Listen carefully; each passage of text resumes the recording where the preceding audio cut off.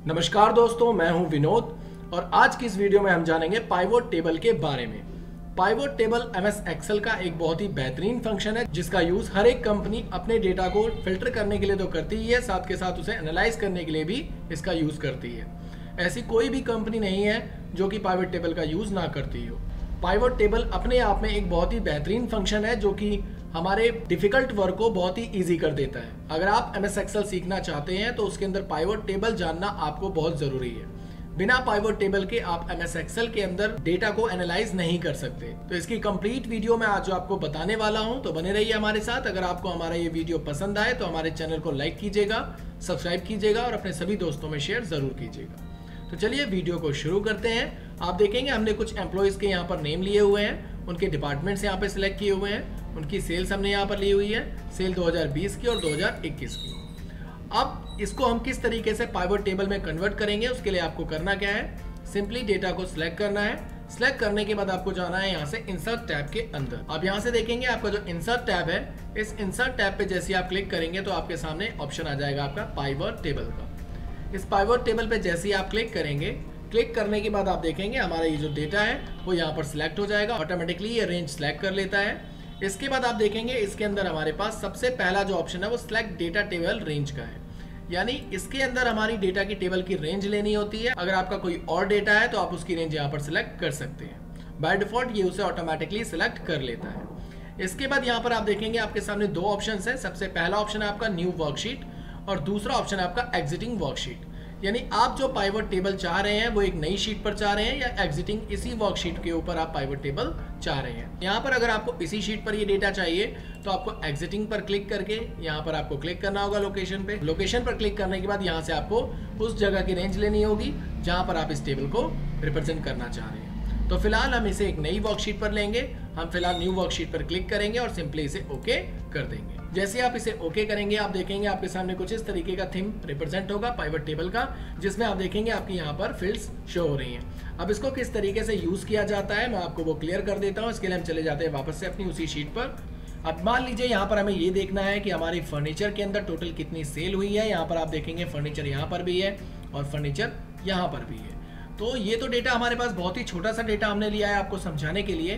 Companies का जो data होता है वो बहुत ही बड़ा होता है, बहुत ही लार्ज होता है और उसमें से किसी डेटा को फाइंड करना बहुत ही मुश्किल का काम होता है। तो वो काम हमारा ये पाइवट टेबल बहुत आसानी से कर देता है। अभी आप इसका एग्ज़ाम्पल देख लेंगे।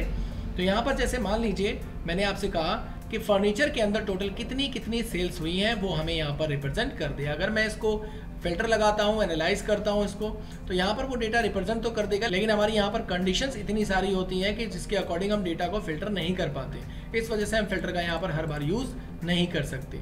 जैसे मान लीजिए कि हम ये चाहते हैं कि इलेक्ट्रॉनिक में कितने एम्प्लॉय काम करते हैं, कितने पर्सन काम करते हैं, उन्होंने कितनी कितनी सेल्स की है, मुझे सिर्फ़ वही रिकॉर्ड देखना है। तो अगर आप उस रिकॉर्ड को यहाँ पर फाइंड करेंगे तो उसे किस तरीके से बताएँगे, आपको ये भी बहुत मुश्किल लग रहा होगा। इसी तरीके से मान लीजिए पार्टिकुलर पर्सन किस किस डिपार्टमेंट में काम करता है, उसने कितनी सेल की है, आप मुझे वो बताइए तो उसे भी निकालने के लिए आपको बहुत ज़्यादा परेशानी उठानी होगी। तो ये पाइवट टेबल हमारे पास एक ऐसा ऑप्शन है, जिसकी मदद से हम ये सारे काम बहुत ईजिली तरीके से सॉल्व कर सकते हैं। तो चलिए मैं इसको आपको करके दिखाता हूँ। तो हम चले जाते हैं वापस अपने पाइवट टेबल वाले ऑप्शन पर। अब मान लीजिए हमें ये देखना है इस टेबल में से कि गारमेंट्स में टोटल कितनी कितनी सेल्स हुई है, मुझे आप वो बताइए तो उसके लिए हम चले जाते हैं वापस से प्राइवेट टेबल के अंदर। और यहाँ पर अपने डिपार्टमेंट को सिलेक्ट करते हैं और अब यहाँ पर सिलेक्ट कर लेते हैं हम लोग सेल्स 2020 को और 2021 को। अब आप यहाँ पर देखेंगे इलेक्ट्रॉनिक में जो हमारी टोटल सेल हुई है 2020 की वो सेल हुई है sixty two thousand two hundred seventy nine rupees की। उसी तरीके से फर्नीचर की यहाँ पर आप देखेंगे 2020 की सेल दिखा रहा है। उसी तरीके से आप देखेंगे 2021 की भी यहाँ पर सेल रिप्रेजेंट कर रहा है। तो इस तरीके से आप अपने डेटा को समराइज कर सकते हैं। आप बड़े से बड़े डेटा को आप इस तरीके से समराइज कर सकते हैं। अब यहाँ से मान लीजिए, अगर हमने 2020 का नहीं देखना, हमें 2021 का देखना है तो यहाँ से हम 2020 का टिक मार्क्स यहाँ से हटा देंगे। तो आप देखेंगे, आपकी 2021 का जो डेटा था, वो यहाँ पर रिप्रेजेंट हो गया। इसको मैं थोड़ा सा जूम करके आपको दिखाता हूँ ताकि आपको ये चीज़ और समझ में आए। यहाँ देखिए इलेक्ट्रॉनिक में टोटल सेल फर्नीचर में टोटल सेल और गारमेंट्स में टोटल सेल और साथ के साथ आप यहाँ पर देखेंगे, इसका ग्रैंड टोटल भी ये आपको बता रहा है। तो ये बहुत ही बेनिफिशियल ऑप्शन है। इसके अलावा अगर आप यहाँ पर सिर्फ़ यही चाहते हैं कि भाई सिर्फ़ इलेक्ट्रॉनिक का ही आपके सामने डिपार्टमेंट शो हो और उसी का आपको टोटल सेल 2020 और 2021 की शो हो तो वो किस तरीके से आप कर सकते हैं, उसके लिए आप देखेंगे, यहाँ पर आपके सामने फ़िल्टर का एक बटन है। इस फ़िल्टर पर क्लिक करने के बाद यहाँ पर सिलेक्ट ऑल हटा दीजिए और यहाँ पर आपको जिस भी डिपार्टमेंट का देखना है, उस डिपार्टमेंट को सिलेक्ट कर लीजिए और यहाँ पर सिंपली इसे ओके कर दीजिए। इसके बाद आप देखेंगे आपके सामने सिर्फ़ और सिर्फ़ इलेक्ट्रॉनिक डिपार्टमेंट का ही डेटा आपके सामने शो अप हो रहा है। साथ के साथ उसका ग्रैंड टोटल यहाँ पर आपको दिखा रहा है। अगर आप दो 20 का देखना चाहते हैं तो आप टिक मारिए। 2020 का भी आपका डेटा और ग्रैंड टोटल आपके सामने रिप्रेजेंट इसने कर दिया है। तो चलिए इसको कुछ और तरीके से हम लोग देखते हैं और तरीके से ट्राई करते हैं कि ये और किस तरीके से यूज़ किया जा सकता है। मान लीजिए अब हम ये जानना चाहते हैं कि कौन से डिपार्टमेंट में कौन एम्प्लॉई काम करता है। तो ये किस तरीके से आप निकालेंगे? तो इसके लिए हम सिलेक्ट करेंगे सबसे पहले डिपार्टमेंट वाले ऑप्शन को। तो यहाँ पर आप देखेंगे डिपार्टमेंट में अभी हमारे सामने सिर्फ़ इलेक्ट्रॉनिक आ रहा है, क्योंकि हमने यहाँ पर फ़िल्टर लगा रखा है। इसको हम यहाँ से क्लियर कर देते हैं फ़िल्टर को। तो आप देखेंगे हमारे सभी डिपार्टमेंट्स यहाँ पर शो अप हो चुके हैं। उसके बाद हम जैसे नेम ऑफ़ पर्सन पर यहाँ पर क्लिक करेंगे।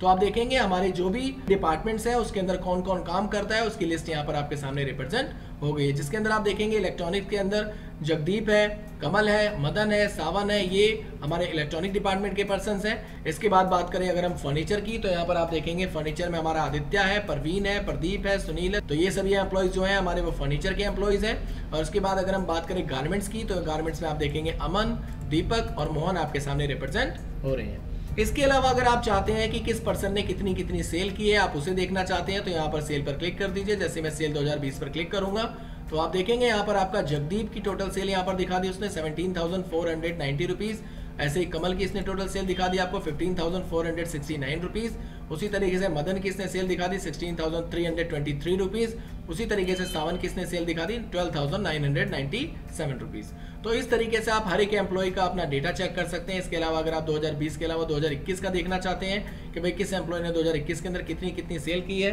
तो उस पर भी आप जैसे चेक मार्क्स करेंगे टिक करेंगे तो आप देखेंगे आपका ये डेटा भी यहाँ पर एनालाइज हो जाएगा। तो इस तरीके से आप अपने डेटा को एनालाइज कर सकते हैं पाइवट टेबल के अंदर। और इसके बाद अगर आप ये देखना चाहते हैं कि भाई आपका कौन सा एम्प्लॉय किस डिपार्टमेंट में काम करता है तो इसके लिए हम सभी चेक मार्क्स को यहाँ से हटा देते हैं। एक तरीका और मैं आपको बता देता हूँ। इस तरीके से आप कई तरीकों से इसे देख सकते हैं। पाइवट टेबल कई तरीकों से आप इसे अपने हिसाब से एनालाइज कर सकते हैं, अपने तरह, अपने हिसाब से आप इसे समराइज कर सकते हैं। तो यहाँ पर आपको करना क्या होगा? मैंने आपसे कहा कि कौन सा एम्प्लॉय कौन से डिपार्टमेंट में काम करता है। अगर आपको ये देखना है तो इसके लिए आपको करना क्या है? सिंपली नेम ऑफ़ पर्सन पर क्लिक करना है। यानी नेम ऑफ़ पर्सन हमारा जो भी है नेम ऑफ़ एम्प्लॉय जो भी है, हम उस पर क्लिक करेंगे तो आप देखेंगे हमारे जो भी एम्प्लॉयज़ थे, वो यहाँ पर रिप्रेजेंट हो चुके हैं। इसके बाद आपको ये देखना है कि भाई वो कौन से डिपार्टमेंट में काम करता है तो आपको सिंपली डिपार्टमेंट को सिलेक्ट कर लेना है। जैसे आप डिपार्टमेंट को सिलेक्ट करेंगे तो आप देखेंगे आपका जो पर्सन है, वो कौन से डिपार्टमेंट में काम करता है। यहाँ पर आपकी उसकी लिस्ट यहाँ पर रिप्रेजेंट हो चुकी है। इसके अलावा अगर आप सेल देखना चाहते हैं 2020 की तो यहाँ पर आप देख सकते हैं आदित्य की टोटल सेल आपकी यहाँ रिप्रेजेंट हो गई है। उसी तरीके से 2020 की अगर आप देखना चाहते हैं इसी तरीके से अगर आप 2021 की सेल देखना चाहते हैं तो 2021 की भी आप सेल देख सकते हैं कि आदित्य ने फर्नीचर के अंदर टोटल जो सेल की है, वो उन्नीस हज़ार दो सौ अस्सी रुपए की की है। अमन ने टोटल जो गारमेंट्स के अंदर सेल की है, वो पंद्रह हज़ार तीन सौ सात रुपए सेल की है। इसी तरीके से आपका पूरा का पूरा डेटा यहाँ पर समराइज हो जाता है। इसी तरीके से आप अपने डेटा को एनालाइज कर सकते हैं। तो ये बहुत ही बेहतरीन फ़ंक्शन है एम का। इसके बाद अगर मैं आपको बताऊँ, अगर आप इसका प्रिंट आउट लेना चाहते हैं तो सिंपली आप उस टेबल की बजाय इस टेबल का प्रिंट आउट लीजिए, ताकि सामने वाले बंदे को ये देखते ही समझ में आ जाएगा कि ये डेटा में आखिर फंडा क्या है, किस तरीके से एनालाइज किया गया है कर रहा है। तो इसके बहुत सारे कॉन्सेप्ट हैं, बहुत सारे तरीके हैं, मैंने दो तीन तरीके आपको बता दिए हैं।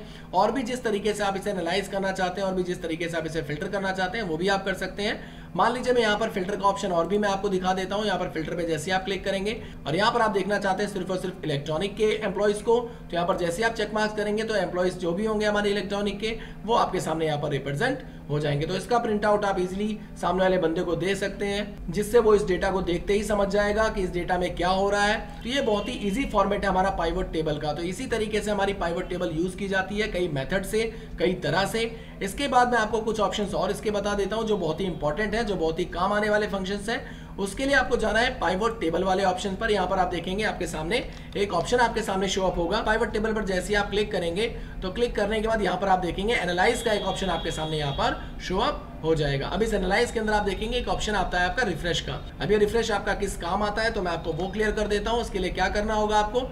सिंपली अपने डेटा पर जाना है और यहाँ पर मान लीजिए मैं एक कॉलम और ऐड कर देता हूँ। मान लीजिए मैंने यहाँ पर लिख दिया टोटल सेल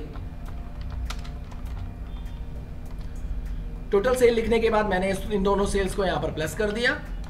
और प्लस करने के बाद इसको नीचे की तरफ़ ले जाकर के कंट्रोल डी ड्रैग कर दिया और इसे बॉर्डर में वापस से मैंने बंद कर दिया। ऑल्ट एच बी ए से ये इसकी हॉट की है। आप यहाँ पर देखेंगे हमारे पास वही फील्ड्स हैं जो हमारे पास पहले थी। अब ये डेटा किस तरीके से रिफ्रेश होगा? ये डेटा रिफ्रेश करने के लिए आपको इसी शीट पर वापस से आना है।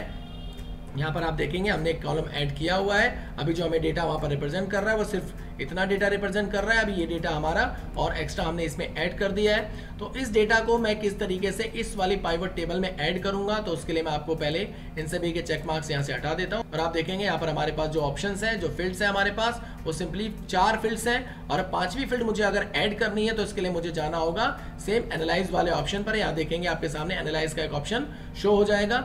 ये तभी काम करेगा जब पाइवट टेबल पर आप यहाँ पर क्लिक करके रखेंगे। अगर आप बाहर क्लिक करेंगे तो ये ऑप्शन आपके सामने शो अप नहीं होगा। ये ध्यान रखिएगा, आपको पाइवेट टेबल पर क्लिक करना है। पाइवेट टेबल पर जैसे आप क्लिक करेंगे, यहाँ पर आपके सामने एनालाइज का ऑप्शन शो अप हो जाएगा। तो इसके बाद आप देखेंगे यहाँ पर रिफ्रेश के बाद यहाँ पर एक और ऑप्शन है आपका चेंज डेटा सोर्स का। तो हम इस वाले ऑप्शन का यूज़ यहाँ पर करने वाले हैं। हम चेंज डेटा सोर्स पर जैसे ही क्लिक करेंगे, यहाँ पर सबसे पहला ऑप्शन आपका आएगा चेंज डेटा सोर्स का।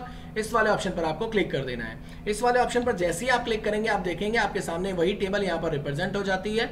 और इस टेबल के अंदर आप अपने डेटा को एक्सटेंड कर सकते हैं। यानी कि जितना, जितनी रेंज हमने ले रखी थी, उस रेंज को हम यहाँ से क्या करेंगे, थोड़ा सा और एक्सटेंड कर देंगे। तो हम यहाँ पर पूरी की पूरी रेंज ले लेंगे।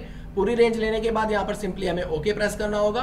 ओके प्रेस करने के बाद आप देखेंगे यहाँ पर जो आपका टोटल अमाउंट था, जो टोटल सेल थी, अभी हमारे सामने शो अप हो चुकी है। आप देखेंगे टोटल सेल यहाँ पर रिप्रेजेंट हो चुकी है। अगर ये रिप्रेजेंट ना हो तो आप यहाँ से रिफ्रेश में जाकर के उसे रिफ्रेश कर सकते हैं। आपकी जो फ़ील्ड है, वो यहाँ पर रिप्रेजेंट हो जाएगी। तो इस तरीके से आप अपने टोटल फील्ड्स को यहाँ पर रिप्रेजेंट कर सकते हैं। अब एक चीज़ और मैं आपको बता देता हूँ। मान लीजिए कि हमने यहाँ पर टेबल वन के अंदर किसी डेटा के अंदर कुछ चेंजेस कर दी है। तो मान लीजिए यहाँ पर हमारे पास आदित्य है और आदित्य को हमने क्या किया है? आदित्य को हमने यहाँ पर गारमेंट्स का डिपार्टमेंट बना, हमने इस डेटा के अंदर थोड़ी चेंजेस कर दी है। अब ये चेंजेस अगर मैं अपनी इस शीट के अंदर जाकर के चेक करूँगा तो इस शीट के अंदर जैसे ही मैं इस डेटा को लेता हूँ यहाँ पर तो आप देखेंगे आदित्य हमारा फर्नीचर ही शो कर रहा है और यहाँ पर हम देखेंगे हमने इसको चेंज कर दिया है गारमेंट्स के अंदर। अब ये डेटा किस तरीके से रिफ्रेश होगा? तो इसके लिए आपको करना क्या होगा? वही सेम ऑप्शन जो मैंने आपको बताया रिफ्रेश वाला। इस वाले पाइवट टेबल पर आपको क्लिक करके रखना होगा और यहाँ पर जाना होगा आपको एनालाइज वाले ऑप्शन पर। एनालाइज वाले ऑप्शन पर जाने के बाद यहाँ पर आपको सिलेक्ट करना होगा रिफ्रेश वाला ऑप्शन रिफ्रेश वाले ऑप्शन पर जैसे आप क्लिक करेंगे, यहाँ पर आपके सामने रिफ्रेश ऑल का एक ऑप्शन शो हो जाएगा। जैसे आप इसे रिफ्रेश करेंगे और वापस से अपना डेटा देखेंगे तो आप देखेंगे आपका जो डेटा था यहाँ पर अपडेट हो चुका है। यहाँ पर फर्नीचर की जगह गारमेंट्स रिप्रेजेंट हो चुका है। तो इस तरीके से आप अपने डेटा के अंदर चेंजेस करने के बाद रिफ्रेश कर सकते हैं, उसके अंदर एडिटिंग करने के बाद उसके अंदर रिफ्रेश कर सकते हैं और आप अपने डेटा को यहाँ पर पाइवट टेबल के अंदर से बार बार अपडेट कर सकते हैं। इसके बाद मैं आपको एक फ़ंक्शन और बता देता हूँ, जो आपके बहुत ही काम का फ़ंक्शन है। तो यहाँ पर हम फ़िलहाल ले लेते हैं डिपार्टमेंट्स और उनकी टोटल सेल्स ले लेते हैं। और यहाँ पर हम ले लेते हैं नेम ऑफ़ पर्सन किस पर्सन ने कितनी कितनी सेल की है? हमने वो तीनों चीज़ें यहाँ पर सिलेक्ट कर रखी हैं। अब इसके बाद आप देखेंगे यहाँ पर आपके सामने एक और ऑप्शन आपके सामने शो अप होगा इंसर्ट स्लाइसर का। ये बहुत ही काम का फ़ंक्शन है, इस पर जैसे हम क्लिक करेंगे तो आप देखेंगे यहाँ पर आपके सामने एक स्लाइसर ओपन हो जाएगा। अब इस स्लाइसर के अंदर आपको करना क्या है? आपको सिंपली हमने ले लिया यहाँ डिपार्टमेंट का स्लाइसर और इसको सिंपली कर दिया हमने। ओके अब आप देखेंगे आपके सामने यहाँ पर डिपार्टमेंट यहाँ पर शो अप हो गए, यानी इलेक्ट्रॉनिक डिपार्टमेंट यहाँ पर शो अप हो चुके हैं। जैसे आप इलेक्ट्रॉनिक पे क्लिक करेंगे तो आपके सामने इलेक्ट्रॉनिक की जितनी भी डिपार्टमेंट्स थी वो आपके सामने यहाँ पर शो अप हो जाएँगी। अब मैं इसे एक तरीके से और आपको समझा देता हूँ। जैसे मान लीजिए हमने यहाँ पर नेम ऑफ़ एम्प्लॉय ले लिया और यहाँ पर हमने ले लिया टोटल सेल अब मैं यहाँ पर ये देखना चाहता हूँ कि हमारी इलेक्ट्रॉनिक के अंदर टोटल सेल्स कितनी हुई है। तो आप देखेंगे सम ऑफ़ सेल जो हमें दिखा रहा है, वो इलेक्ट्रॉनिक का यहाँ पर शो हो रहा है। जैसे हम यहाँ पर फर्नीचर पे क्लिक करेंगे तो आप देखेंगे फर्नीचर के एम्प्लॉयज़ और उनकी टोटल सेल यहाँ पर रिप्रेजेंट कर रहा है और साथ के साथ उसका ग्रैंड टोटल भी यहाँ पर दिखाई दे रहा है। इसी के साथ अगर हम गारमेंट्स पे क्लिक करेंगे तो आप देखेंगे गारमेंट्स में कितने बंदे काम कर रहे हैं और उनकी कितनी कितनी सेल्स है और टोटल ग्रैंड टोटल सेल कितनी है। तो इस तरीके से आप स्लाइसर ऐड कर सकते हैं, इस बटन का यूज़ कर सकते हैं। अगर आपको ये स्लाइसर क्लियर करना है तो यहाँ पर जैसे आप क्लियर ऑल पे क्लिक करेंगे तो आपका स्लाइसर यहाँ पर क्लियर हो जाएगा। आपके जितने भी एम्प्लॉयज़ थे, वो यहाँ पर शो हो जाएँगे, उनकी टोटल सेल यहाँ पर शो अप हो जाएगी। तो इस तरीके से भी आप अपने डेटा को फ़िल्टर कर सकते हैं, आप इस स्लाइसर का यूज़ कर सकते हैं। अब इस स्लाइसर को हटाने के लिए आपको करना क्या होगा? सिंपली यहाँ पर क्लिक करना होगा। क्लिक करने के बाद अपने कीबोर्ड से डिलीट बटन दबा देना होगा। डिलीट दबाते ही आपका ये स्लाइसर यहाँ से हट जाएगा। इसके बाद अगर आपको ये पाइवट टेबल यहाँ से हटानी है तो यहाँ से मान लीजिए हमने इसके चेक मार्क्स को यहाँ से हटा दिया। काफ़ी लोगों को पाइवट टेबल लगानी तो आती है, मगर उसे हटाना नहीं आता। तो ये किस तरीके से हटाया जाता है, आप इसे डिलीट करने की कोशिश करेंगे तो ये डिलीट भी आपसे नहीं होता। तो डिलीट करने के लिए आपको इसको करना क्या है सिंपली डेटा को यहाँ पे सिलेक्ट कर लेना है, जहाँ भी आपकी पाइवट टेबल है, उसको सिलेक्ट कर लेना है। सिलेक्ट करने के बाद आपको जाना है होम टैब के अंदर। होम टैब के अंदर जाने के बाद आप यहाँ पर देखेंगे, आपके सामने एक ऑप्शन आ जाएगा आपके पास क्लियर ऑल का। तो यहाँ पर क्लियर पे क्लिक करने के बाद यहाँ पर आप देखेंगे, सबसे पहला ऑप्शन है क्लियर ऑल का। इस पर जैसे आप क्लिक करेंगे, आप देखेंगे आपका जो भी पाइवट टेबल थी, वो यहाँ से क्लियर हो चुकी है। तो यही था हमारा टॉपिक आज का पाइवट टेबल का। अगर आपको हमारा ये वीडियो पसंद आया हो तो चैनल को लाइक कमेंट शेयर ज़रूर कीजिएगा और सब्सक्राइब ज़रूर कीजिएगा। धन्यवाद।